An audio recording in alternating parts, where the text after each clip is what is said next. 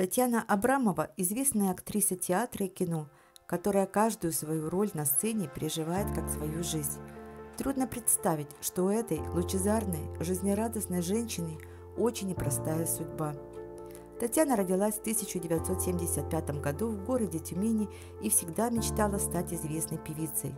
Она с детства занималась вокалом, участвовала в различных музыкальных конкурсах и фестивалях. Для осуществления своей заветной мечты девушка перебралась в северную столицу. Музыкальная карьера ее сложилась успешно.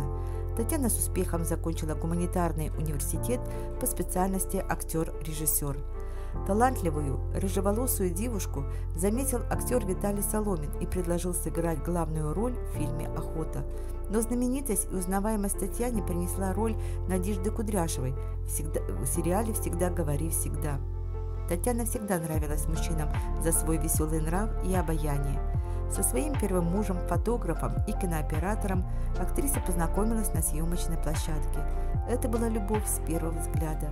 Вскоре молодые люди поженились, и в их семье родились два сына – Иван в 2004 году и Александр в 2008. Когда младшему сыну Александру исполнился год, врачи обнаружили у ребенка онкологию. Много сил, времени актрисе пришлось потратить, чтобы поставить ребенка на ноги. Тем временем ее отношения с супругом зашли в тупик. Мужчина не смог выдержать тяжелые испытания, болезнь ребенка и ушел из семьи. Татьяна, не теряя оптимизма, осталась одна со своей бедой. С ней рядом в то время всегда была ее родная сестра Елена, которая смогла поддержать и помочь в тяжелое время для актрисы. Все это поведала Татьяна Абрамова в передаче «Секрет на миллион».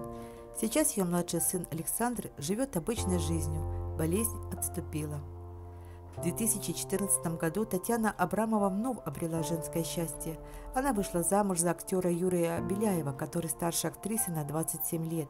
Несмотря на огромную разницу в возрасте, пара счастлива вместе и до сих пор считает, что их встреча – это подарок судьбы. Актер сразу же нашел общий язык с сыновьями Татьяны и воспитывает их сейчас как своих родных детей. thank you